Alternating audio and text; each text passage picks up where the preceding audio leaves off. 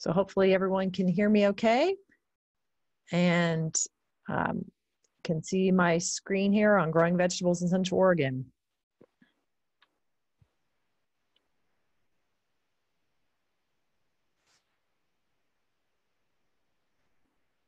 Okay, so this morning we're going to talk about challenges of gardening, different types of gardens you can have or plan for. Um, the challenges we're going to be addressing just the climate here and how that affects gardening in general. And we'll talk a little about the site prep, selection, what to plant, when to plant, those sorts of things. We'll cover seeds, what you need to know about starting seeds or versus uh, direct seeding versus using transplants and then plant care, care, excuse me, crop rotation, season extenders, and garden cleanup, just in, in general or brief. Before we get started, I do want to mention this is I. My name is Amy Jo Detweiler, and I am an extension horticulturist with Oregon State University Extension Service. Uh, we are located here in Central Oregon in Redmond, and we serve the Tri County region and bringing classes like this to you. We've got a lot of different programs, and basically, what we do in Extension is we bring the research based information to um, backyard growers, homeowners, uh, people in their livelihood, uh, this type of information. Okay, let's get started. So, here are some of the bigger factors that can affect you when it comes to vegetable gardening. You've got hardiness zone, soils, precipitation, temperature, and elevation that are all going to affect the success of whether or not a plant's going to grow well here. So we'll go and cover those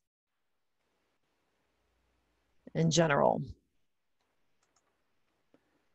So hardiness zone is not really a big concern when we're talking about growing vegetables because they're mostly annuals. There's just a, a couple of them that are perennial type vegetables or perennial crops and so you can grow most vegetable crops here uh, if you stay within the parameters of our growing season. And we'll talk about how long that is in a little bit here.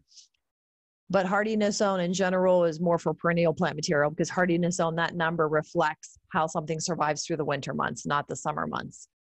Uh, the key here, as far as finding plants that are going to work for your vegetable gardening, are going to be selecting short season crops and I'll get into more details on what types to look for there. And um, if you're going to use a perennial crop, for example, like asparagus or rhubarb, ones that are going to come up every year, then you just want to look for the cold hardy varieties of those ones so that they'll work successfully here in Central Oregon.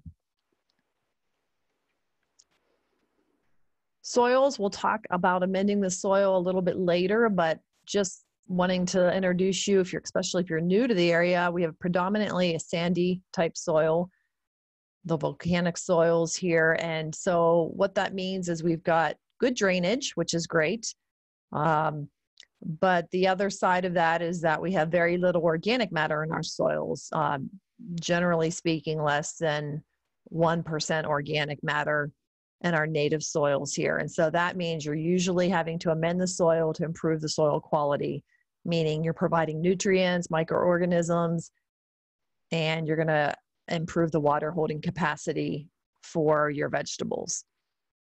Ideally, the goal is to create that ideal environment for the roots to thrive, and they need water, they need oxygen, and that they can pull nutrients up to the plant.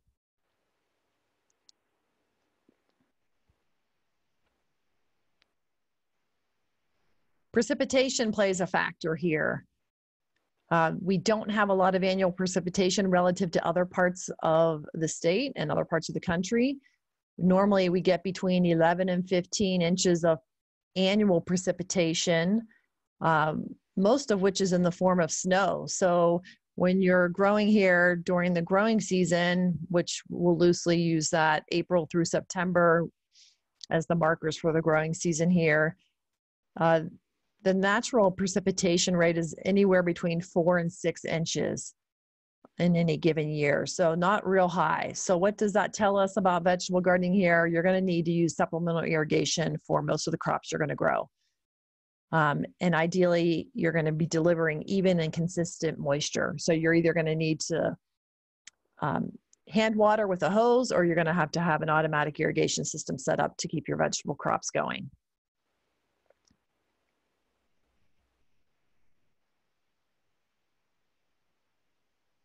This is interesting. I just pulled a 10 year data set from Bend's and just wanted you to see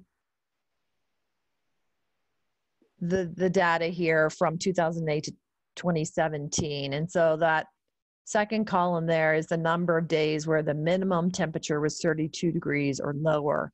How many days in there where the temperature dropped below 32 degrees during the growing season? And you can see how that varies depending on the year.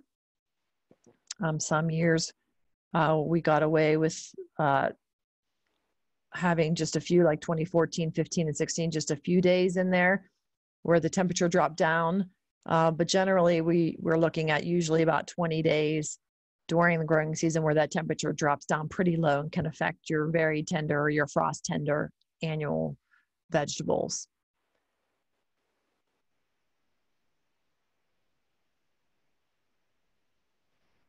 So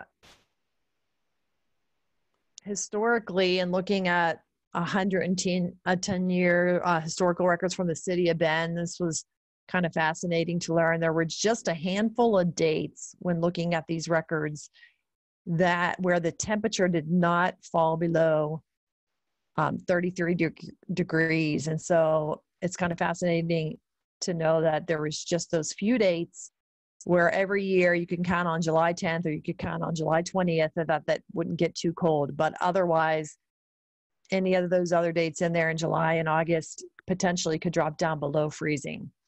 And so, what that tells us is we really don't have a true frost date in Central Oregon, and you need to be prepared for that when you're growing vegetables. So, that means having frost protection in place, ready to go in case we have one of those days where the temperature really drops down really that window between July 15th and August 19th, you'll have less than a 20% chance for freezing temperatures. But otherwise, we really can get frost any day of the year here for the most part.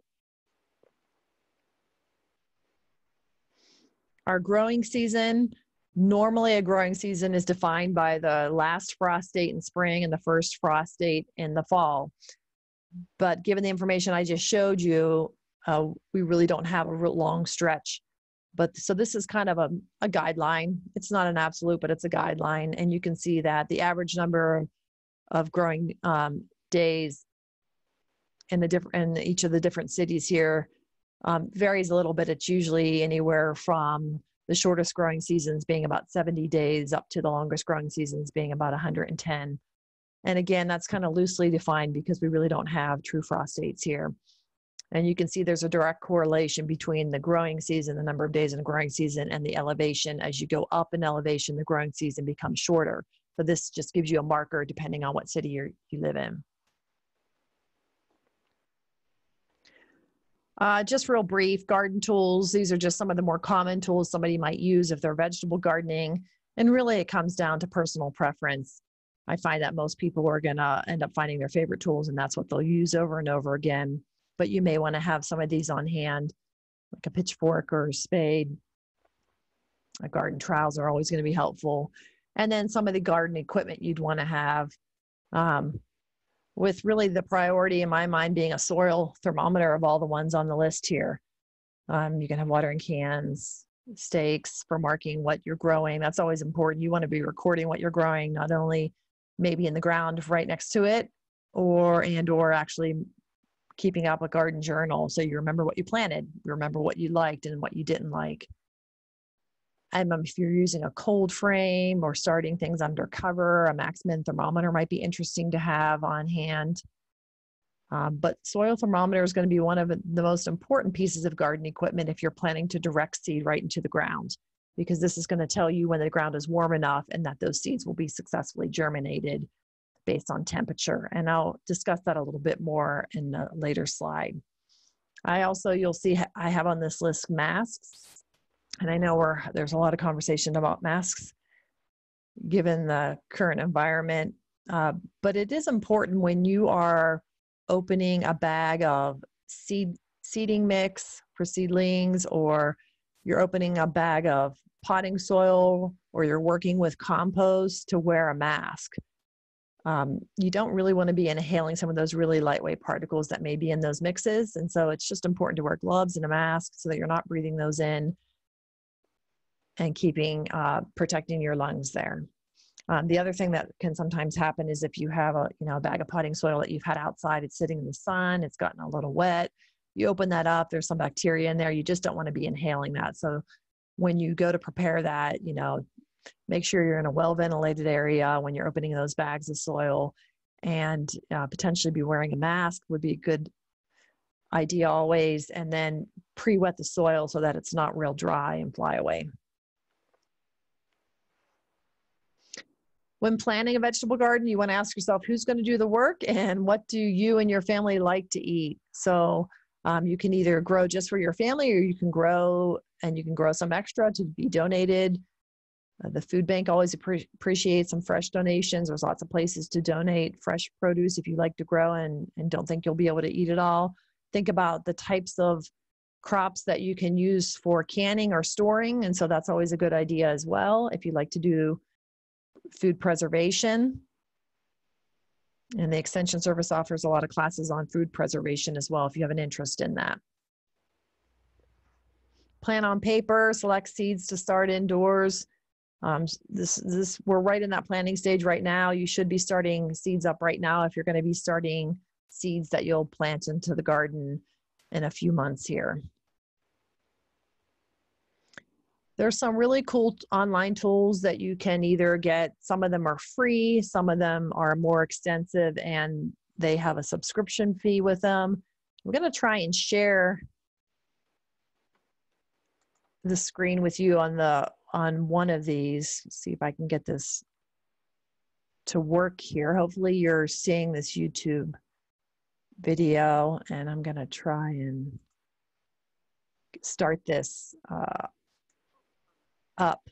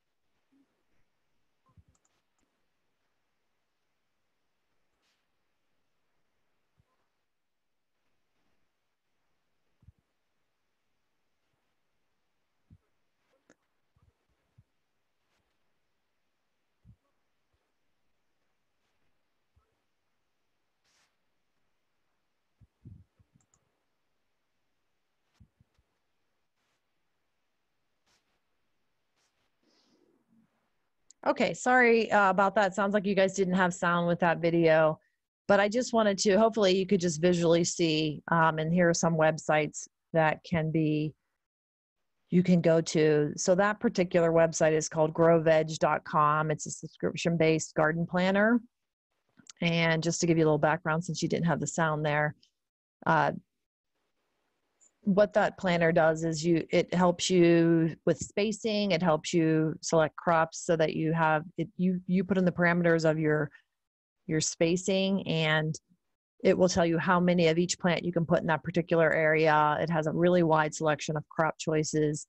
You can also put on there i'm going to put row cover on this crop and it will tell you when you plant can plant it. There's a whole bunch of really cool innovative uh, pieces to that website. So something like that's interesting. And I think I looked at it yesterday. It looked like it was maybe $29 for the subscription for a year, and it will hold your information from season to season.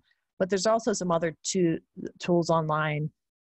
Like for example, the the one on the bottom here, the www.gardeners.com. That one uh, is a free kitchen garden planner. It's not not as extensive as the one I just showed you on the YouTube video, but it's another tool that you can use if you'd like to have those online, something to help you plan the spacing of your garden.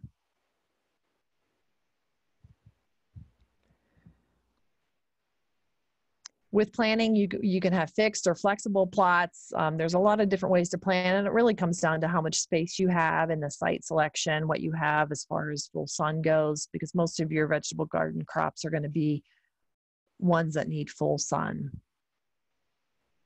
but here's just some examples of different types of designs, layouts. You do want to think about the orientation of the sun and put the crops that are going to get the tallest, you know, so that when the sun is over towards the west, that those taller crops are not going to be shading out crops and behind it.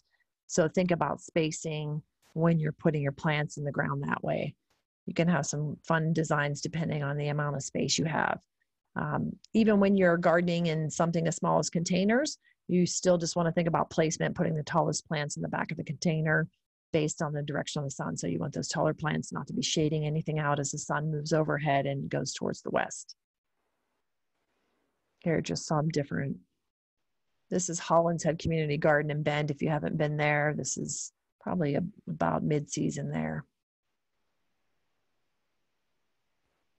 Raised beds. Um, raised beds are a really nice choice for Central Oregon because they actually help to extend the season here.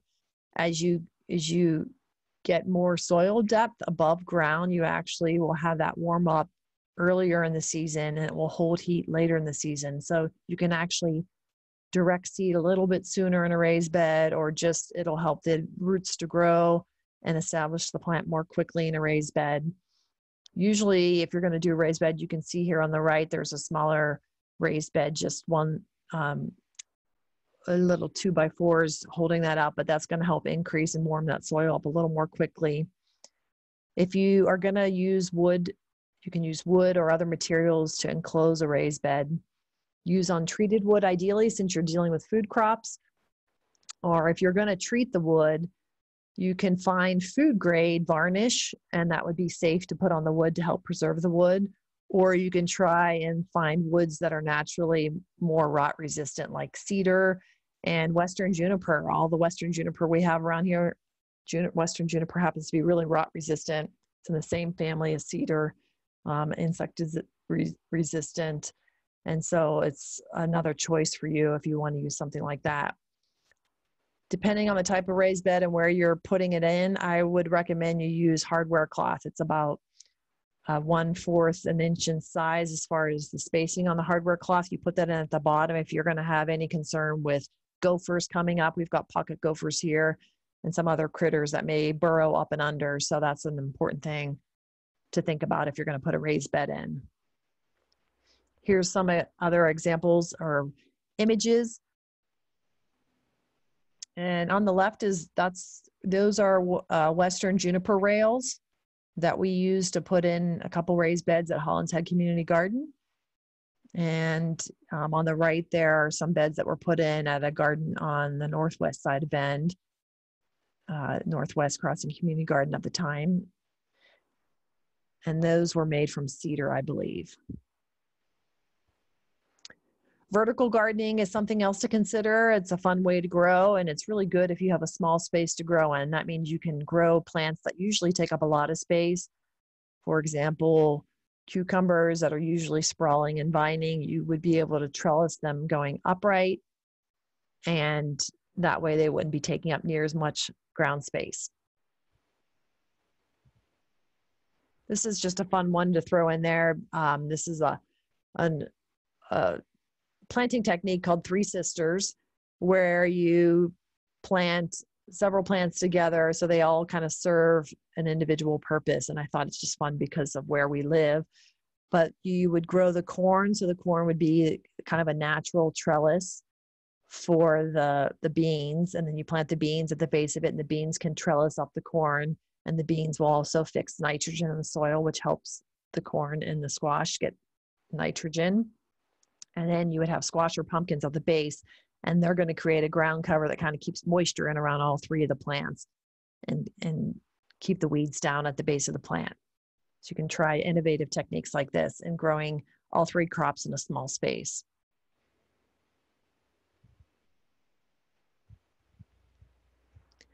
Container gardening works really well too for vegetable crops. But what you want to look for is compact or early varieties. So you're not going to have as much room. You want something that's going to mature fast or something that's going to be compact so it's going to fit in a container.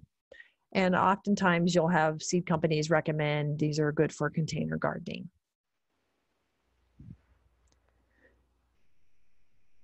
If you're going to try and grow something like tomatoes in containers, then you just want to get something that's going to have a pretty uh, deep root or depth to it, some usually about 18 inches minimum for tomatoes or something like that. Um, for shallow rooted crops, you would just go eight to 10 inches deep. But for those, um, something like a half whiskey barrel would work or a five gallon container plastic pot from the nursery would work for some of those deeper rooted plants. It's not that something like tomatoes won't grow in a container that's more shallow, it'll just slow the growth down and you probably won't get as much harvest or yield.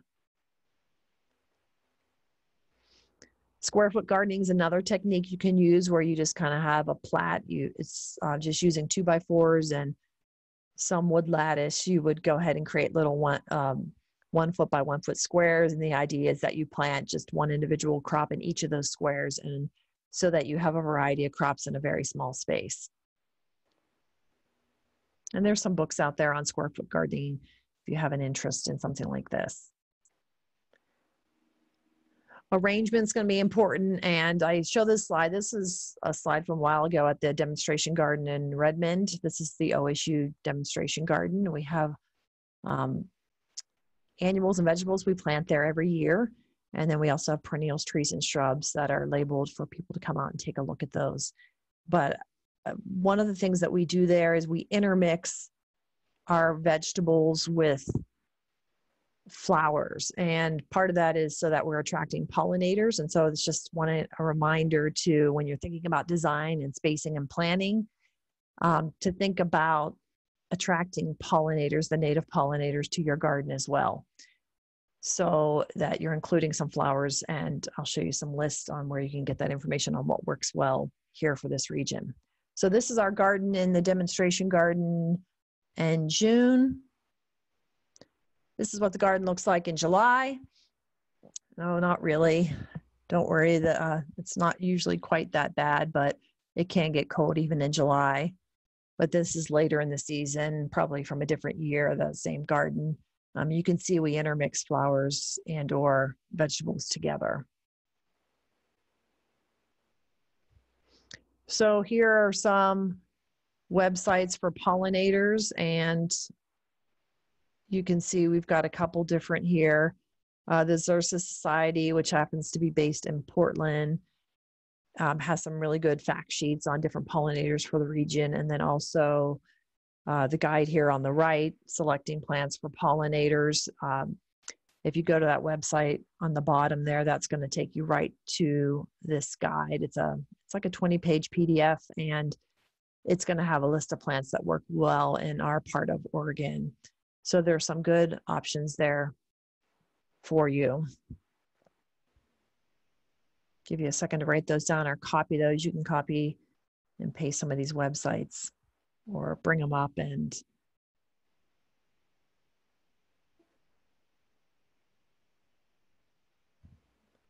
Okay, site selections is a big one here. It, it doesn't it seem like this is always the case, um, especially in Central Oregon where we have volcanic rock. So you want to you want to pick a site if you're going to be gardening directly in the ground that's going to be pliable and where you're going to be able to allow root some rooting depth in the soil. If the soil's compact, you're going to want to loosen that up. Find a location that has full sun. You can get away probably with a minimum of six hours of full sun, but ideally eight to 12 is going to be better and you'll probably get a, a bigger harvest if you have a full sun selection uh, site. You can look for slope sites using terracing. If you have a hillside and you're trying to figure out how to work that, create some terracing in there and you can garden that way. Ideally, you're choosing a spot near the house um, only because if it's closer to home, near the house, the back door, the side door, you're probably more likely to be monitoring your gardening, seeing what's happening, versus if it's a, in a spot really far away, you're probably less likely to be checking in on the garden. And then it's also critical to have a water supply nearby, whether you're gardening with a hose or if you have an automatic irrigation system set up, you have a water supply nearby.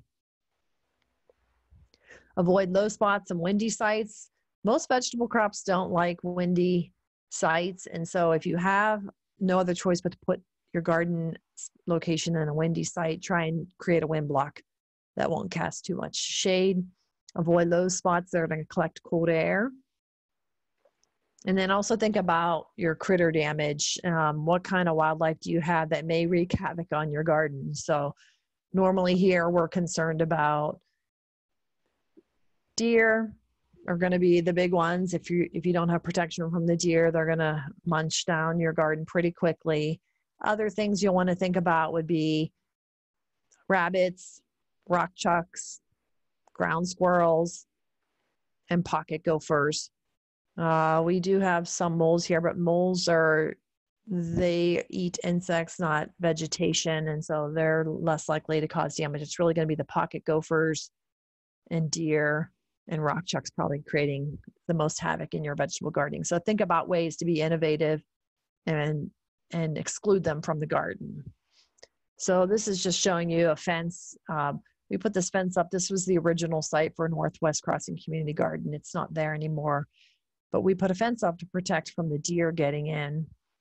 And then at the bottom of this, I just want to show you the use of hardware cloth. This is the hardware cloth I was referring to to put at the bottom of a raised bed as well.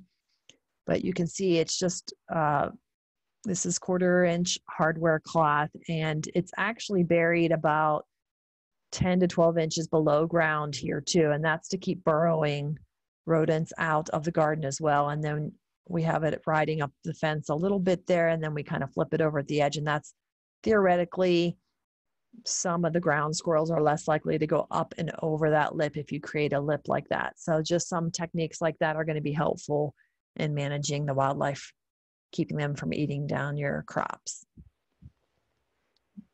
somehow they typically always find a way back in though it seems but site preparation goals Ideally, you want your soil pH to be somewhere between 6.2 and 6.8. And we talked about the soil being well drained. Our native soils are going to already have that for you. Um, we actually want to increase the water holding capacity a little bit if you're gardening right in the ground. Um, and our goal for organic matter material is anywhere between 3 and 6% total for organic matter.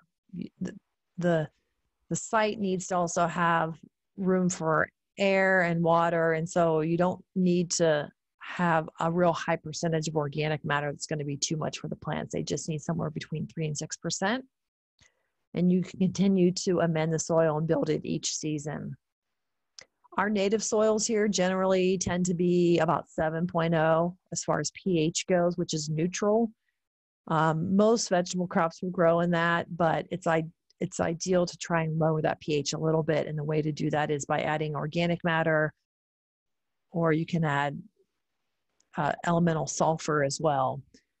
You don't necessarily have to do a soil test on a new site unless you're concerned about something else maybe previously been grown there, what you're starting out with.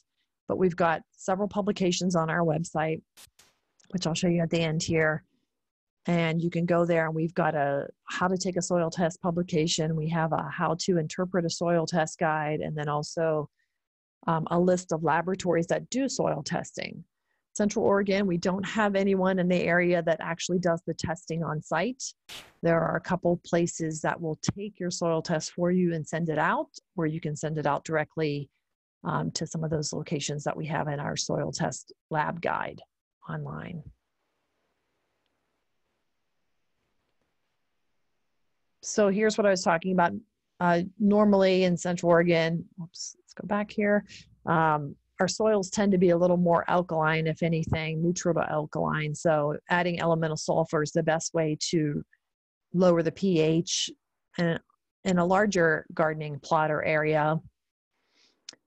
If you have a smaller area like a raised bed, you can just usually add um, a fine compost, organic matter. You can um, aged manures, those types of amendments will help lower the pH.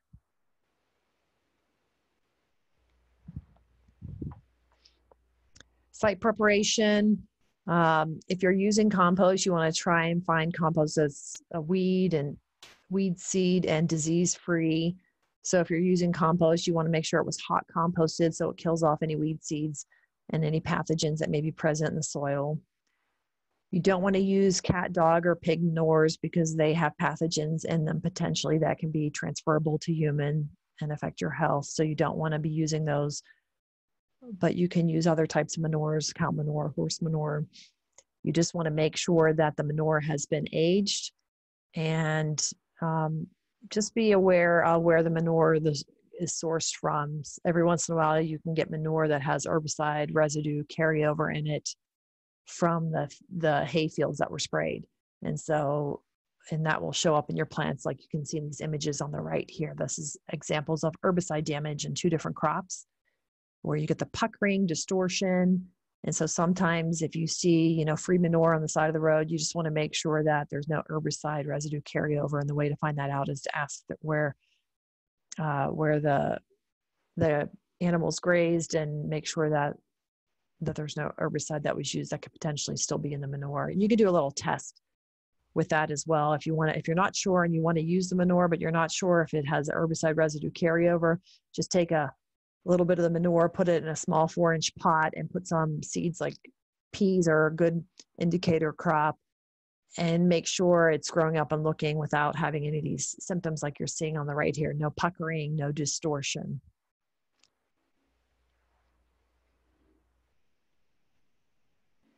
So when you're growing vegetables, they're going to require more nutrients than your ornamental plant material like your perennials, trees, and shrubs. So you want to be feeding the soil with some sort of amendment or compost. There's a lot of different landscape supply companies and local nurseries that provide nice compost. You just want to do your homework, ask them for a soil test analysis to make sure that this, the compost you're buying has pH in that range we talked about. They should have a pH indication on the soils. And a, a fine soil usually works well to help amend the soils.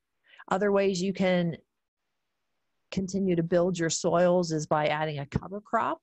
And you can do this in the spring here in Central Oregon or the fall. Uh, another name for cover crops is green manure. Uh, cover crops are going to be a crop that you put down, you let it come up, you let it start to grow, you just don't let it go to seed or um, get too far along, and you can just turn that back in, and that's going to add some green material to your soil and help build the soil. It also helps decrease compaction and prevent erosion in some cases if you're gardening on a big plot. Usually with cover crops, you can do them late season here. You can do spring or fall, but a lot of people like to do fall when they're done gardening. You can put something in and turn it back into the soil. Here's some of examples of different cover crops that you can use here in Central Oregon. So you can write some of those down. And all of this information, I should have shared this in the beginning is in the publication that we have called Growing Vegetables in Central Oregon. And I'm going to show you the website where you can find that. We typically give that publication out when we do these classes in person. But um, I'll show you there. It's it's also available online, and so all of this information that I'm sharing with you can be accessed in that publication. So you don't need to be vigorously writing any of this down. Take some notes if you want. Here's an example of a cover crop that came up. This was uh, from a while ago at the extension office. We let this come up, and you would go ahead and turn this back in the soil and let it sit through the winter months to enrich the soil. There's debate about whether or not you should be tilling your garden soils, and my suggestion would be to, if it's compacted soil and you're planting in it for the first time, you want to lightly loosen it up so that the roots have a place to go. Uh, you can you can till lightly um, the first season, and then from there on out, you can just till lightly going forward. You don't necessarily need to be heavily rototilling every single season. There's some benefit to just tilling on occasion when you need to, and uh, just keeping that soil pliable more than anything. When you do some heavy duty rototilling, you're going to be kind of breaking down the soil structure, which you don't want to do. So you can till initially, and then you can till as needed going forward in in the continuous seasons.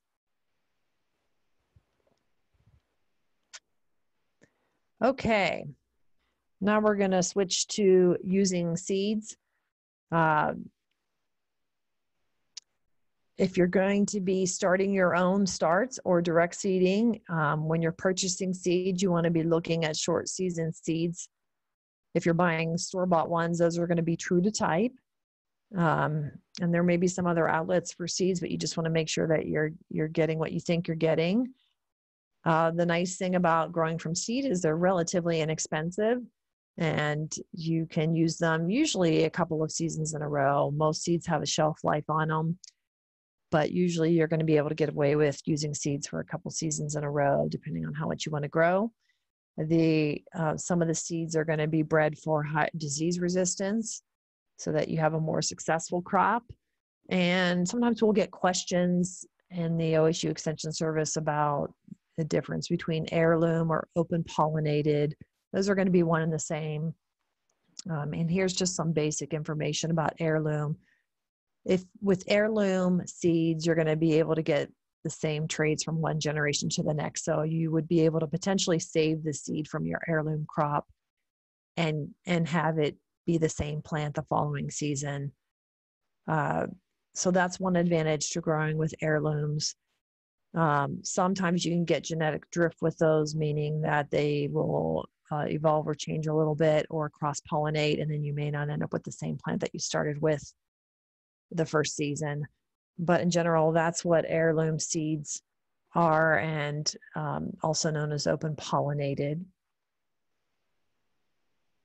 The downside uh, to heirlooms is sometimes they don't have the disease resistance in them that you may be looking for with certain crops.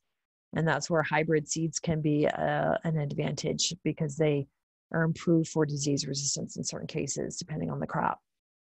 The downside to hybrids is that you're not going to get if you save the seeds from a hybrid plant you're not going to get the exact same plant uh, when you try and grow it again the next seasons. And so uh, there's pros and cons to using either one of those. And the other issue i wanted to address just briefly is uh, the concern for genetically modified organism seeds gmo seeds. And just know that as a home as a backyard gardener or a home gardener gmo seeds are not available to the general public. And so that you don't have to worry about purchasing a seed that has GMOs. When to plant depends on the crop and whether or not you're going to be starting from direct seeding or starting from starts. And we have in our vegetable gardening guide that I'm going to show you the website for it. In that guide, we will have suggestions on the crops that grow well here and whether it's better to direct seed them or start them from transplants.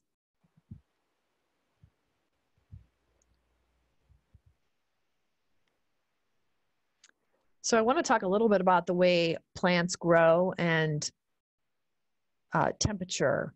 So the ideal growing a temperature range for plants is 50 to 9 degrees Fahrenheit, and that's air temperature. And when plants get in this this ideal range, then they're going to be able to do all the things they need to do to produce well and create a good harvest for you. So after 50 degrees or higher, then plants can actively photosynthesize. And when they photosynthesize, that means they're creating, they're able to create their own food, and that's going to keep them growing and get you to maturation where the plants are going to have some good harvest for you. When you get outside this ideal range of 50 to 90 degrees, it affects the way the plants can operate. It's the, it affects the physiology of the plant. And so what happens is if you get below the 50 degree mark, plants will slow down their growth processes in several different ways. And they may even cease growing. And so one of the challenges we have in, here in Central Oregon is we have these really big swings between day and evening temperatures, even during the growing season. So you may have, you know, a 70 degree day, but if it, it may drop down to 48 degrees at night. And then when that happens, that slows the plant down. So you don't have this continuous growth going on through the evenings here.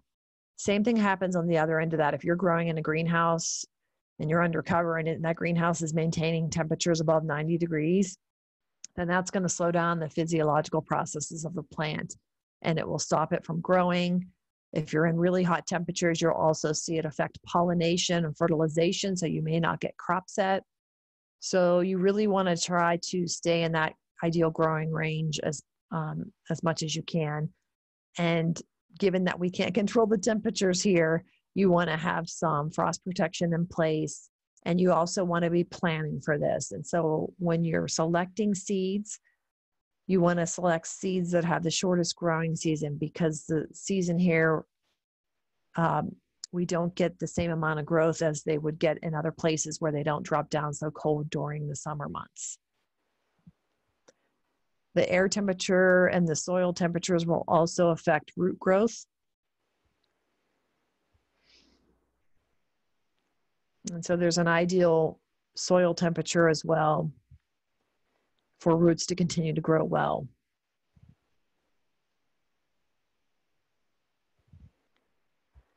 So buy those short season varieties and usually general rule of thumb, because we have those really big swings in day and evening temperatures here, is just to add about two weeks on to whatever the maturation date is on the seed packet.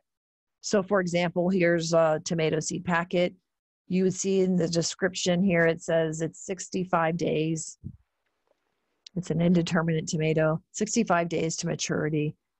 And so that's a short season crop versus a tomato that would say uh, maybe 110 days. We know that the seasons here usually about 90 to 100 days. And so you want to get a season crop as possible. And then you want to go ahead and add two weeks to that. So really you're looking at the this tomato in another part of the country would potentially start to show some fruit set at 65 days. In Central Oregon, it's probably going to take a little bit longer than that because we have that reduction in growth during those evening temperatures. So it's kind of like the plants start, then stop, then start, then stop. That's where the benefit of season extension of greenhouse covers can help maintain that growth through the night. Successful seed germination depends on mostly soil temperature and moisture. Light's not really a factor when you're direct seeding into the ground um, because there's no there's no leaf tissue at that point. You really just want those seeds to get germinated. And the two key factors in getting successful germination and when you're direct seeding a crop is going to be soil temperature and moisture. And that's even the same for starting seeds inside if you're starting them in a flat or a tray or in some uh, small pots you want to make sure that soil temperature, you have even consistent moisture and that the soil temperature is warm enough to get those seeds germinated. Light is a factor in just a few different crops, not very many vegetable crops. So once the seeds have germinated, you have these little small seedlings pop up. And you can see on the left here, you have the cotyledon leaves. Those are the first two leaves that come out when they when the, the seeds germinate. And then after that, you'll start to see what we call the, the true leaves come on the plant. The true leaves are going to be ones that that actually are look more like what the plant, what you would expect it to look like for that given crop. Um, once you get true leaves showing up and you have about four true leaves or more, then you can go ahead and transplant that plant into a larger size pot with potting soil if you're still trying to get it big before you plant it outside, or you can go ahead and direct plant that into the ground if the timing is right.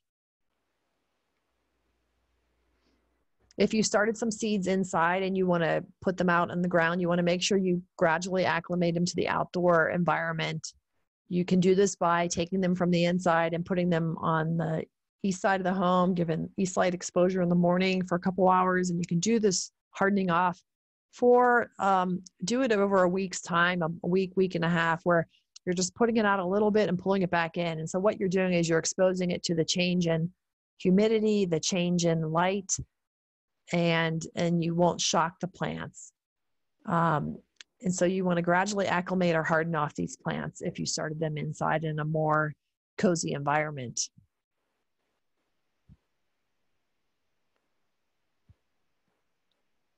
Ideally, you can plant your transplants out on an overcast day. And for our real frost tender plants, you really want to be waiting for June to do this. Typically, the first or second week in June, you can start to put your transplants out. And again, this calendar information on when to do what, we have that all in our vegetable gardening growing guide that I'll sh share with you.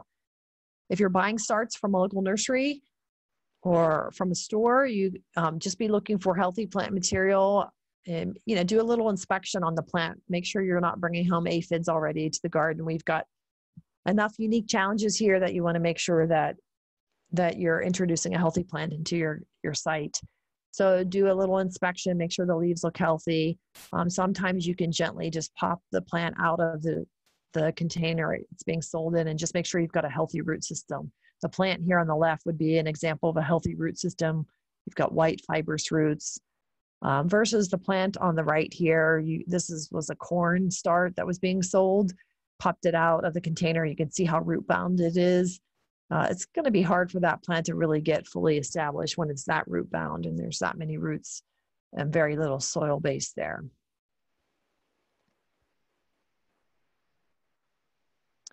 Direct seeding, uh, most seeds need a minimum temperature to germinate successfully. Um, if this if it's too cold in the soil temperatures, and this could be a rookie mistake if you're new to vegetable gardening, is putting your seeds out and it's just soil temperature is just too cold they'll usually rot before they germinate. Um, and and once you have your seeds up and going, then it's real important to be thinning these seedlings. The it's always a little bit tough to pull out a viable plant. I have trouble doing this myself when you, but sometimes for certain types of vegetable crops, for example, carrots, you know, the seeds are really tiny. It's really hard to ind- independently plant each seed. You'd want to go ahead and plant these seeds out and you'll have a whole bunch come up in a line then you'd want to go ahead and thin the seedlings and by thinning the seedlings you're going to allow more root growth and there won't be as much competition for nutrients and water so you'll end up with a more viable harvest uh, a larger yield and a higher quality set uh, harvest as well so here's that publication I've mentioned a few times now, Growing Vegetables in Central Oregon. We have it available on our website here in both English and we also have a Spanish version. And so you can go ahead and take a look at the publication. And a lot of what we're talking about here today is going to be in that guide.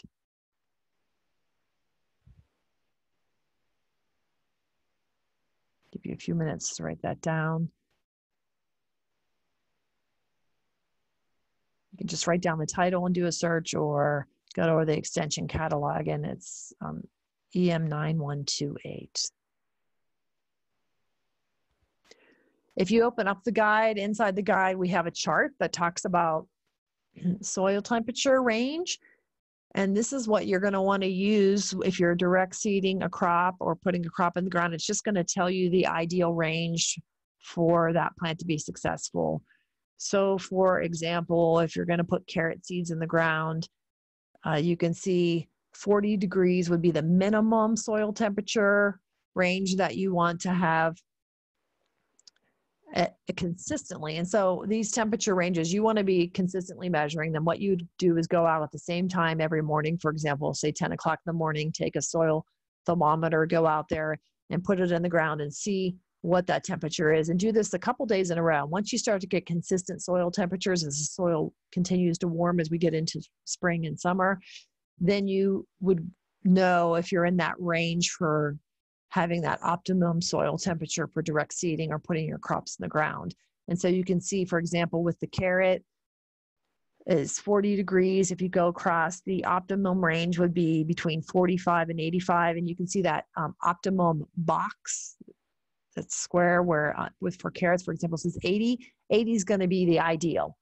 If you had to pick and choose, if you would wait for the soil temperatures to be at 80 degrees, um, you're going to get some some good successful germination there because that's the ideal soil temperature for germinating carrot seeds. So it, that's going to be, there's going to be a couple of different crops listed in there. Um, we've got two page spread on this particular chart in the guide to the left.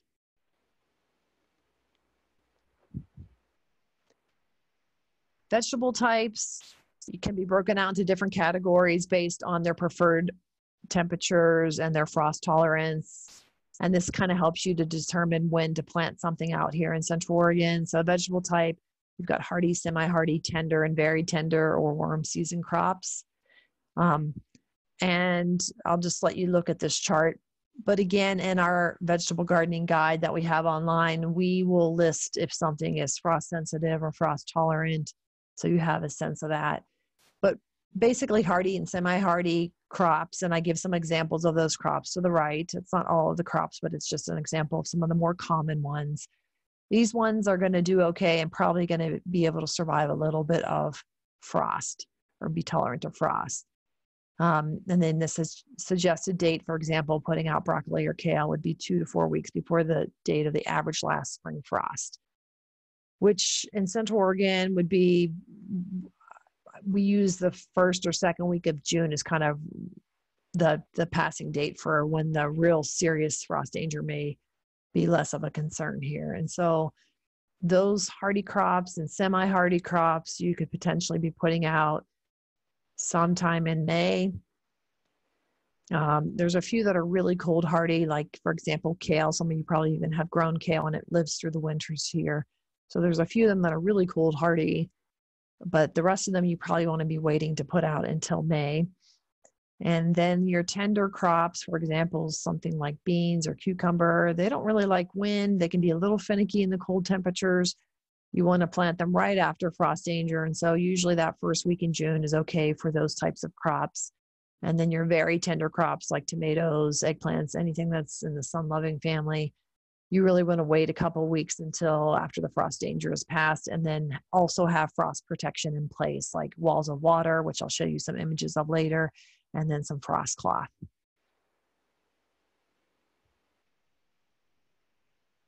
So here's another page from the vegetable gardening growing guide. And you can see there, for example, when you look at kohlrabi, we're going to recommend if direct seed or transplant is the ideal way to start that crop. Um, so for example, with lettuce, direct seeding is usually preferred. It doesn't mean you can't start some, some lettuce from seeds. It's just usually they perform well and do just as as well from direct seeding into the ground or to the container. Um, and we're going to mention there if something is frost tolerant or frost sensitive as well. And you can see we'll list a few of the more common varieties, ones that are usually easier for people to get, how to plant it, some hints with that particular crop, and uh, some tips on harvesting. But no, really, you have a lot of choices when it comes to varieties. Again, because most of these crops are annual crops, it's just really about selecting short season crops. And some of the, there are some seed companies that have a really nice selection of short season uh, seed packets. Um, I'll mention a few of them that I know of. So you can either go to these companies, order online, or go to your local garden center and buy from them. But some of these companies include Territorial Seed, Nichols Garden Supply, and um, Johnny Selected Seeds, Botanical Interest, some of those companies and uh, are ones that are they have a nice selection of short season varieties for more cold growing regions.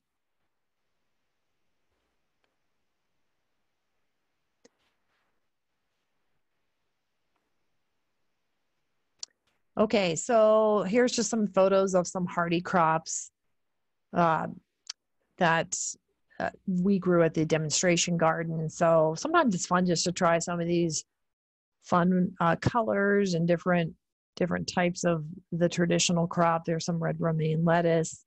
We did a purple Vienna kohlrabi.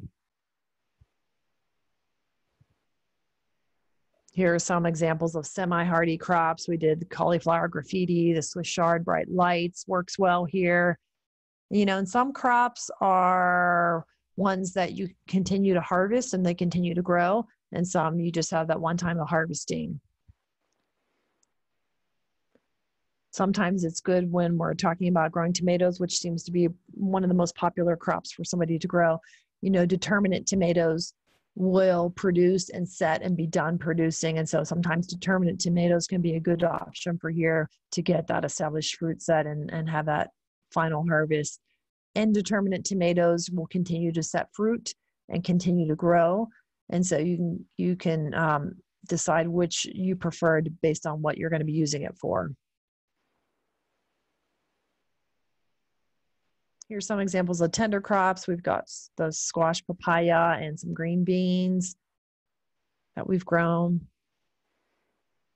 And some very tender crops. So even though these plants in particular can be frost sensitive and uh, aren't the easiest ones to grow here, the, the key with growing something like eggplant, for example, is not to grow the full-sized eggplant, but to grow the miniature eggplants again because it's not going to take them as long to get mature so you should have success. We've grown hansel we've grown the variety gretel we've grown uh, a variety called fairy tale and they're all real small kind of individual serving size eggplants but they get to maturity here so they work well. Same with the watermelons. You can do watermelons here but grow the ones that are single serving size instead of the full large watermelons that you're used to seeing in the grocery stores so there's a lot of single serving size watermelons that don't get very large in size, just enough for a family of say four or something like that. And those are the ones that you will have success with here if, if you pick those varieties that are short season or single size or compact.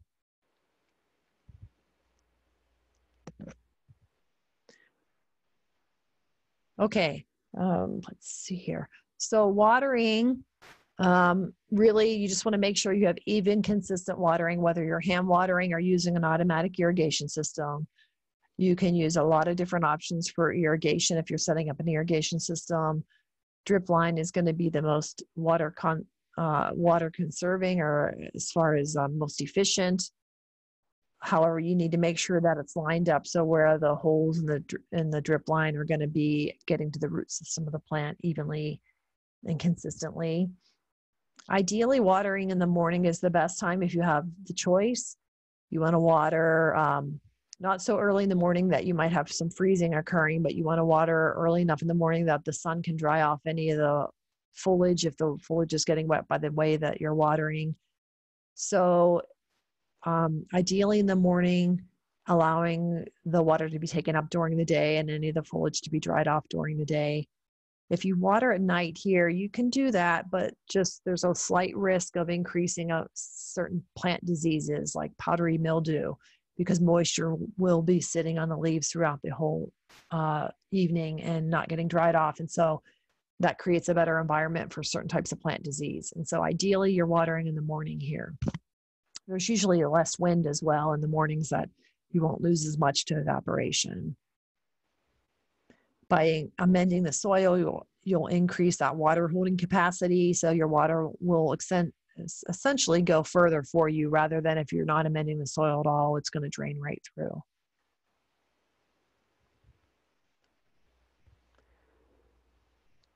There are four critical times when a plant is growing that water is needed most um, consistently is is the key there. And so when you're germinating seeds, consistent moisture. If you're letting your trays dry out in between, or if you're letting if you're direct seeding in the garden and you're letting it dry out between uh, waterings, then you're not going to get even consistent germination. Right after transplanting, when you want to get those roots established, you want to make sure you have even, consistent moisture. Um, and during the first few weeks of development, and uh, during the development of edible storage organs. Yes, that's a, that's a phrase to say that. But those are going to be the part that you're going to be eating. As that part is developing, if you don't have even consistent moisture, then you're going to end up with deformities, cracking, for example, in tomatoes. If you have water, inconsistent watering when your tomatoes are setting fruit, that's when you'll get that cracking. If it's like getting too much moisture and then not enough moisture on and off, or it's drying out between waterings, you want even consistent moisture when the the edible part of the the plant is developing, so that you have um, the cells developing fully in that part of the plant.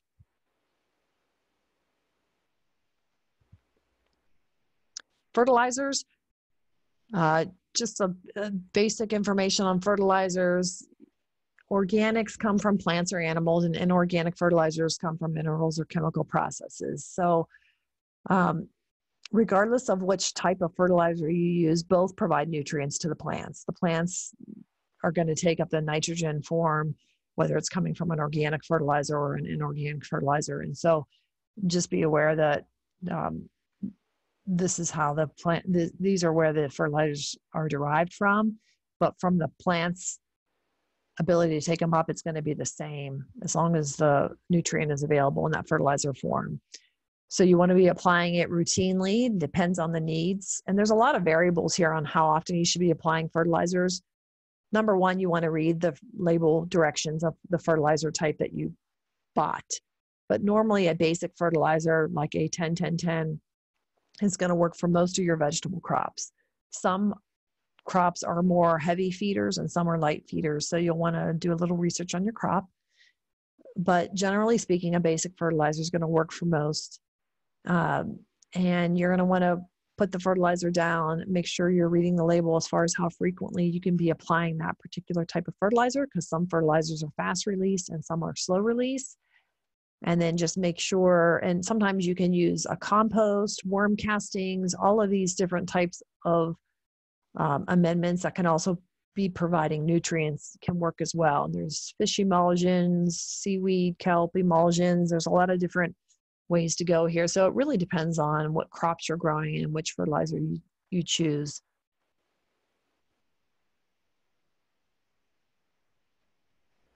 Plant, plant care or general plant care, just be monitoring for insects and diseases. It's a lot easier to manage those in an organic way if you're catching it early on. For example, the picture here of the tomato hornworm, you know if you're out there inspecting usually they're not going to show up in droves at least uh, not right away.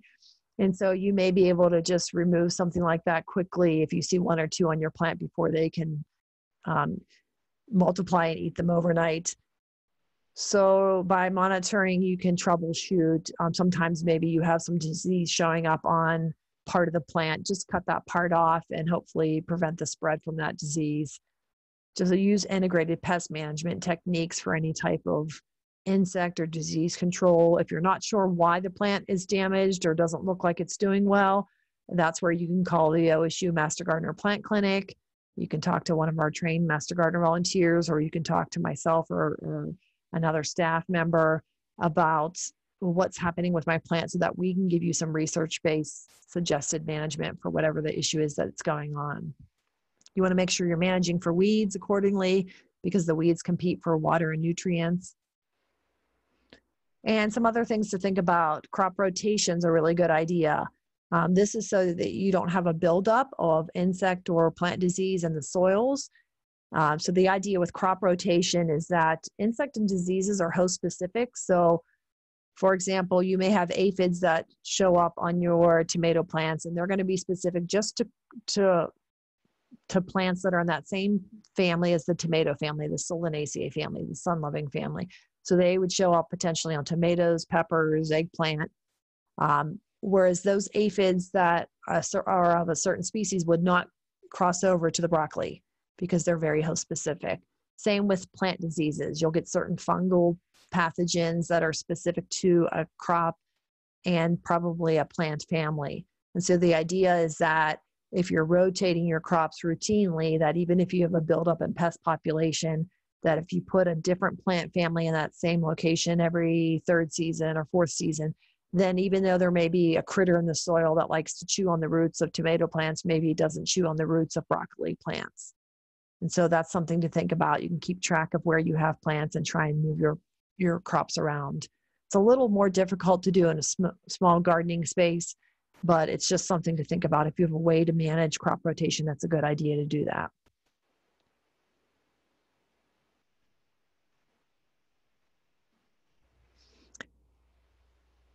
And now I'm going to just talk for uh, a few minutes about season extenders, and then I'll go ahead and take questions at the end here or look at the Q&A and see what questions need to get answered. Uh, so season extension would be anything that helps extend the growing season from raised beds, raised beds, like I mentioned, all the way up through greenhouses if you're lucky to have the space for a greenhouse. That's a good option. So greenhouses can help extend the season just by getting your seeds started. And in some cases, you can grow in the greenhouse year round if you're able to keep the heat from getting too hot in there. You can build something like this. This is a cloche, and we've got um, a website a based publication on how to build a cloche like this if you're wanting to do something like this at home. Um, if you're using plastic to create cover or some sort of a high tunnel or low tunnel like this, you just want to make sure you are purchasing ideally try and purchase greenhouse grade plastic. It's going to be thicker and uv treated so it lasts longer.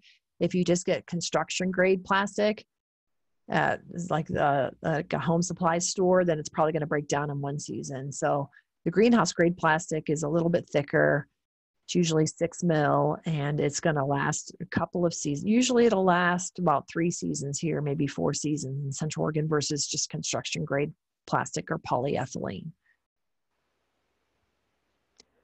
Uh, I've seen a lot of creative ways to use row cover or frost cloth. This cloth is nice because air, water, and light get through it, but it can protect your plants from frost damage. It can also protect them from certain insects. You can use something like row cover and put it over your cabbage so that you don't get the cabbage moth laying its eggs on top of your cabbage and the larvae feeding and creating uh, damage on your cabbage leaves. So there's different ways to use the frost cloth as well, but it's a good one to have here for those cold nights. Here's just some, I've shown you just some different examples of how people use frost cloth.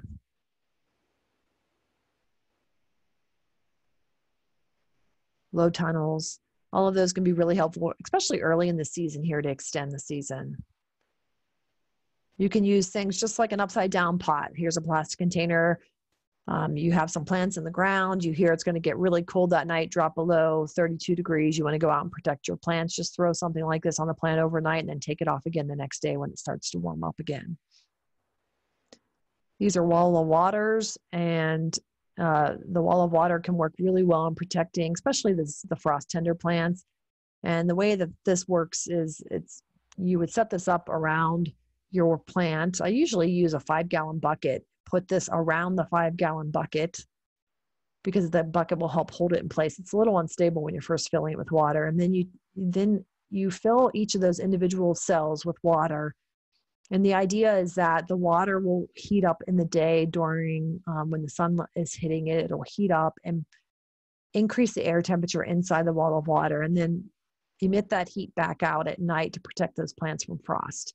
And so they work really well for tomatoes, eggplants, peppers, and extending the season or protecting it here. I just shown you some examples of raised beds using walls of water. Some people use them just in the beginning of the season, then take them off before the plant gets, gets too big, and others will leave them on the whole season.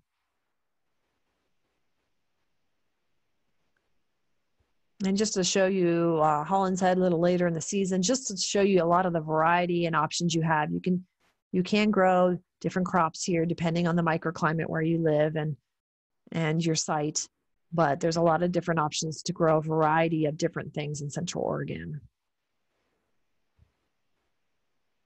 So you can do it. Um, I'm going to go ahead now. There's I'm going to pull up some resource pages for you, and then I'm going to look at the Q and A and see if I can answer any questions for you.